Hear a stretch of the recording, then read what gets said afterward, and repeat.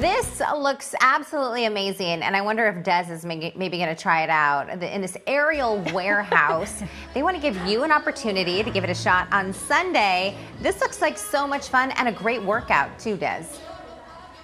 It does. I would Good love chance. to try it out. We're inside Aerial Warehouse here in Queen Creek. Shanna Lord, the owner here, talking with us. Um, it's a lot harder than it looks, so I don't think I can test my skills today.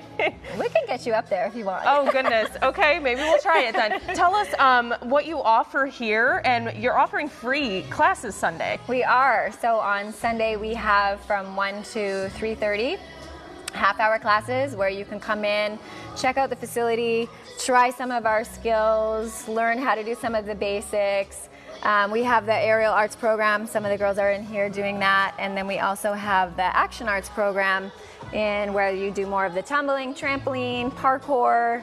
Uh, and so those little half hour classes will just give everyone the opportunity to just come check us out and see what our program's all about. And what are, can anyone come, or is this just for kids this yeah, weekend? a- anyone can come. You, Okay. you could even be an adult and come in and try it out as well.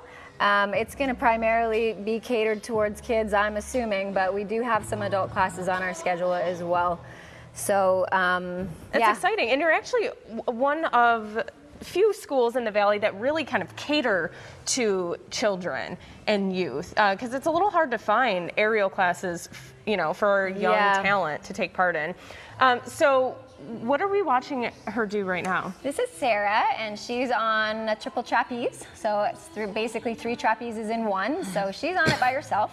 But once the girls get to be a little more advanced, they can work with a group of girls or boys together, and they're that way able to to work as a team. awesome and what else do you offer quickly more than just the silks So even more than just the silks, we have again the trapeze, the lyra, which is a hoop that I don't think I have any hanging, but the silks, which are the two pieces, and the tumbling and trampoline and parkour elements in the other part of the facility. okay so sunday time again Sunday. 1 till 3.30. Sunday, 1 until 3.30 here at Aerial Warehouse in Queen Creek.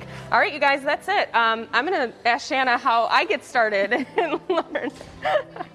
we'll send it back to you guys.